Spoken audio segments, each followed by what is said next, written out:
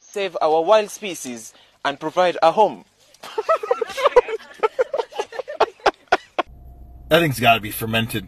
Look at him. Look, his his ears are all tucked back. He's all wet. what?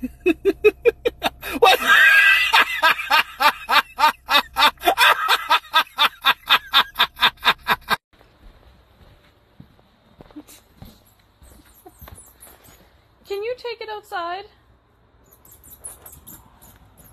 Thank you.